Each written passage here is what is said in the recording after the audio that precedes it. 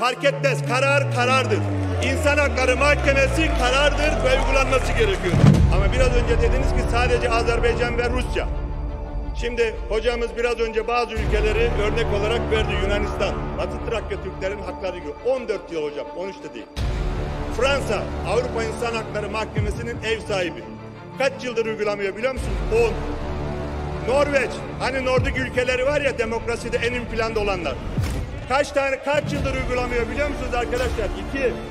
Almanya kaç yıldır uygulamıyor biliyor musunuz? Beş. Birleşik Krallık kaç yıldır uygulamıyor? Fark etmez. Karar karardır. İnsan Hakları Mahkemesi karardır ve uygulanması gerekiyor. Ve bunların hepsi de insan hakları ihlalleriyle ilgili kötü muamele okuyun vereyim size. O zaman biliyorsanız biraz önce doğruyu söylemeniz lazımdı. Finlandiya Arkadaşlar Finlandiya'da ne biliyor musunuz? Bakınız Finlandiya gazetecilere orantısız ağır mahkumiyet gazetecilere Finlandiya'dan bahsediyor. Ha? Niye söylemiyorsunuz burada? İrlanda'yı niye söylemiyorsunuz? Belçika'yı niye söylemiyorsunuz Avrupa Birliği'nin ev sahibi? Bakınız bizim söylemek istediğimiz şu.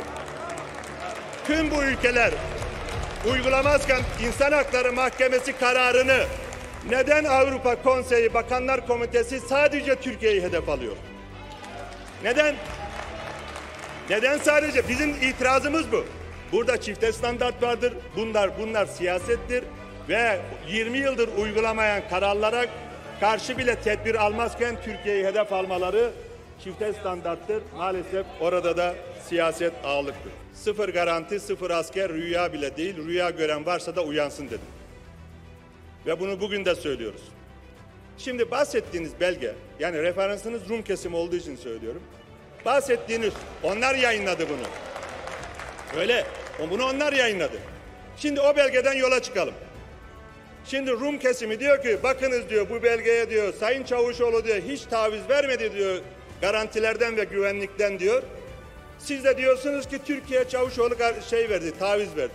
Maalesef bu konuda Kıbrıs Rum kesimine katılmak durumunda. Maalesef. Üzülerek söylüyorum. Biz öyle bir taviz vermedik. Biraz önce yeni gerçekleri de söyledik. Ve bu konuda bizim tutumumuz hiç değişmedi. Diğer taraftan Afrika konusunda Sayın Çevigöz, Afrika konusunda ben Cumhuriyet Halk Partisi veya önceki hükümetlerle bir kıyaslama yapmadım. Hiçbir zaman yapmadık. Niye rahatsız olduğunuzu anlayamadım ben.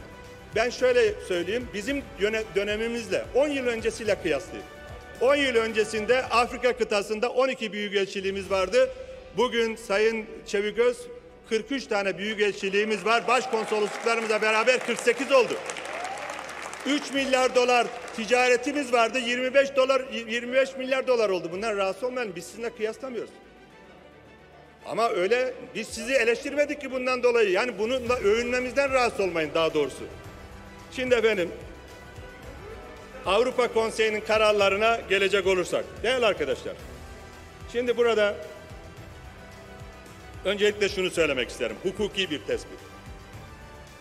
Türk mahkemeleri Kavala ile ilgili Avrupa İnsan Hakları Mahkemesi'nin kararını uygulamamıştır, uygulamıştır ve serbest kalmıştır. Ama Kavala hakkında başka davalar olduğu için Kavala hapisten çıkmamıştır. Ama o ilgili karar uygulanmıştır. Bir. İkincisi, ikincisi şimdi size bir soru sormak istiyorum. Yani sizin Batı Trakya Türkleri ile ilgili mahkeme konusunda hassasiyet göstermemenizi, göstermenizi beklemem. Ama ama Cumhuriyet Halk Partisi'nden ve İyi Parti'den bu hassasiyeti göstermelerini beklerim. Şimdi İnsan Hakları Mahkemesi kararları sadece Türkiye için mi geçerlidir, 47 üyesi için mi geçerlidir? Hepsi için geçerlidir. Peki siz biraz önce dediniz ki bu kararları uygulamayan hani ben sizi cehaletle şunla bununla suçlamak istemiyorum ama mutlaka bilgilendirilmişsinizdir. Şimdi sizlerden gelen bazı soru ve eleştiriler oldu. Onlara da kısaca değinmek istiyorum. Ünal Çevigöz mensubumuz kendisinden başlamak istiyoruz. Öncelikle şunu söylemek isterim. Yani dikkatlice dinledim. Her zaman söylediğim gibi her konuda tamamen suçlu Türkiye, tamamen suçlu Cumhur İttifakı. Bu anlayış maalesef sizde hiç değişmedi. Ve referanslarınıza bakıyoruz. hep Türkiye aleyhine konuşanlar, Türkiye aleyhine yayın yapanlar, bu Rum olabilir, o olabilir hiç fark etmez. Ayrıca referansları al, referans aldığınız yerlere bakıyoruz. Biraz sonra örnekleri de vereceğim. Orada da Türkiye için olumsuz unsurları ön plana çıkarıyorsunuz. Olumlu unsurları hiçbir şekilde dile getirmiyorsun. Çünkü sizin burada iddia ettiklerinizi çürütüyor o olumlu unsurlar. Benim raporlarım değil, şimdi onlara da değinmek istiyorum. Birleşik Arap Emirlikleri, Mısır, diğerleri. Kamil Hocam zaten bana bir şey bırakmadı. Gayet güzel bir şekilde anlattı. Diplomaside temel kural. Sürekli düşman da yoktur, düşmanlık, dostluk da yoktur. Şimdi Birleşik Arap Emirlikleri'yle bizim bir problemimiz var mıydı? Yok. Onlar bizimle ilişkileri bozdu. Şimdi de düzeltmek istediler. Biz de ilişkileri düzeltiyoruz. Bu kadar basit. Diğer ülkelerle de bir sorunumuz yok. Sadece Mısır'la ilişkileri kesme konusunda biz karar aldık. Bunu kabul ediyoruz ve gerekçelerini de biliyorsunuz. O yüzden şimdi ülkelerle yok onu mu satıyorsunuz, bunu mu satıyorsunuz? Bu tür gereksiz şeylere girmeye gerek yok. Karşılıklı bir çıkar demelinde herkesle ilişkilerimizi geliştiririz. Ve herkes Türkiye'ye yatırım yapmak istiyor. Dolayısıyla bu yatırım yaparken de niye gelip yatırım yapıyorsunuz diye suçlamak da doğru değil. O gün Katar Dışişleri Bakanı da sorulan soruya şunu söyledi. Türkiye çok önemli, Türkiye ekonomisi çok önemli fırsatlar sunuyor dedi. Her ülke Türkiye'deki geçen sene her ülke olduğu gibi geçen sene e, İtalya Türkiye'de doğrudan yatırım yapan ülkelerin başında geliyor. Yaklaşık 1 milyar dolarlık yatırım yaptı İtalya. Ona da bir şey diyor muyuz? Niye birine bir şey söylüyorsunuz da diğerine söylemiyorsunuz? Herkesten gelmesi lazım yatırım.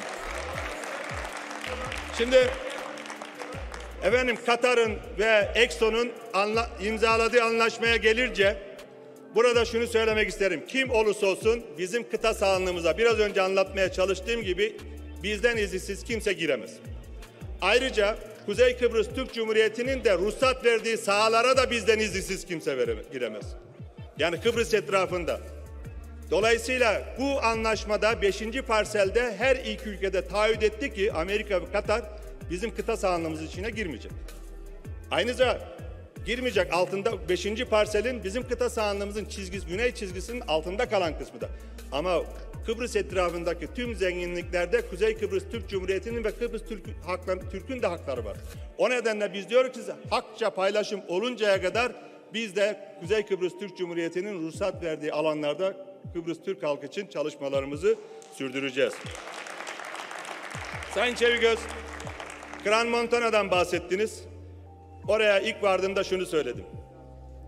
Ve FETÖ ile mücadeleyi 15 Temmuz gecesi çelikten milli iradeyi temsil eden bombaların altında görevi terk etmeyen bu gazi meclise ve milletimize ve şehit ve gazilerimize bir borç biliyoruz.